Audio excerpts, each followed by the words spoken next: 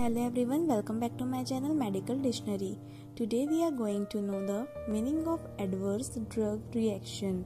An adverse drug reaction ADR can be defined as an appreciably harmful or unpleasant reaction resulting from an intervention related to the use of a medicinal product adverse effects usually predict hazard from future administration and warrant prevention or specific treatment or alteration of dosage regimen.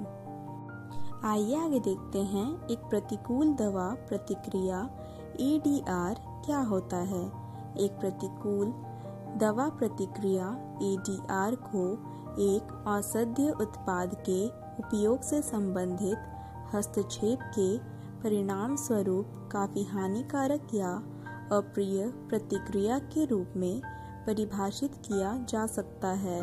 प्रतिकूल प्रभाव आमतौर पर भविष्य के प्रशासन और warrant की रोकथाम या विशिष्ट उपचार या खुराक के नियम में परिवर्तन से खतरे की भविष्यवाणी करते हैं।